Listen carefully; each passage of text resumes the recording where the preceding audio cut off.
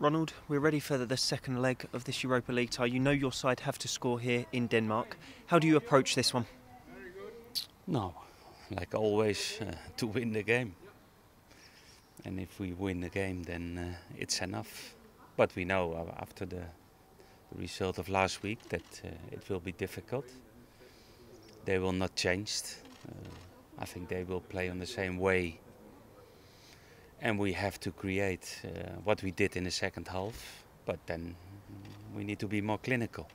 Because out of five six good opportunities we scored one out uh, of a penalty and that's not enough you spoke about changing the style a little bit in the second half and you went a little bit more direct. Do you feel like you may have to take that approach again and, and just make sure that the most important thing is, is winning the game, as you say? Yes, that, that's, that's the most important about European football. It's not about uh, playing attractive, playing uh, nice football. the most important is uh, to win the game and, and, and you start the season about uh, how you like to play football you have enough sessions about uh, to develop uh, your system and to develop the the team. But tomorrow is uh, not how we win if we win.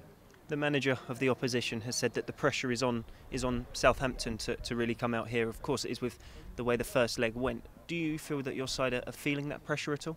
No, but but we had the same pressure and to be the favorite uh, before the two legs uh, against Vitesse and we had the same last week. Uh, we know because normally uh, we are the better team, but not always the best team win the game. It's uh, it's up to a lot of uh, details in the game, and, and, and we have to analyze what, what went wrong last week, and we have to analyze how we can get uh, them in, in problem, in trouble, and uh, that's more in the second half than, than in the first half. How big is this game for the club, having achieved so much last season, and you've always spoke about the group stages is the real reward. Yes, of course. That's really European football. If you uh, reach a group stage, means football, European football till at least uh, the beginning of December, and, and, we don't like to stop it in uh, in August. But okay, we know what we have to do. And you spoke after the Watford game as well about how important that clean sheet was there to, to take that mindset into this game here in Denmark. Yes, but because uh, maybe about uh, the five goals that we received in the first two games, maybe a little bit more doubting about uh, our organization defensively. And I think the team showed uh, a good organization last Sunday, and, and, that's a starting point to win the game. Do you think the preparation for this game is a bit easier because you know more about the opposition now after last week's first leg? Yeah, but okay, it's always uh, more more uh, information uh, when you play against them. Then you analyze the team about different games, and we know exactly now. And maybe we are now maybe more prepared. Maybe there was maybe something that we or the big favorite in the in the game, and, and now we know uh, what they can do and what we have to do to win the game.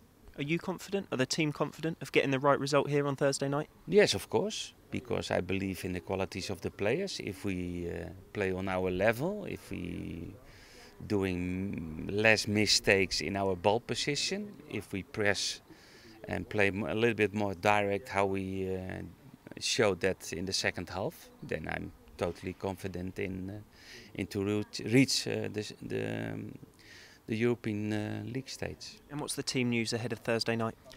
Now the team news is that uh, the injury of Sadio is, is doubtful for tomorrow. Normally he will do the, the beginning of the session today. He will do it separate of the team. And, and maybe he can be involved in the second part. And, uh, and Victor Wanyama isn't uh, traveling with the team because from yesterday on uh, he's ill home and uh, the latest update of the of the doctor uh, Steve Barnes today was uh, that he had a stomach infection.